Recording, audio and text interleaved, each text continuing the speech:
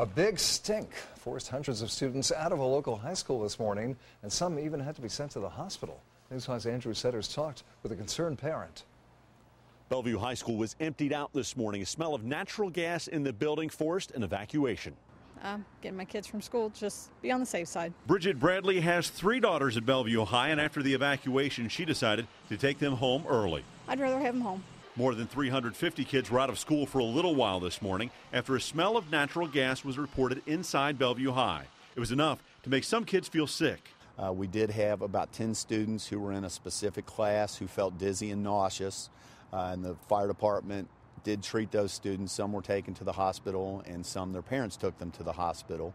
There were only three kids transported by the fire department and only as a precaution. About an hour later, school was back in session. Fire crews and Duke Energy confirmed there was no natural gas leak at Bellevue High, so they sounded the all clear.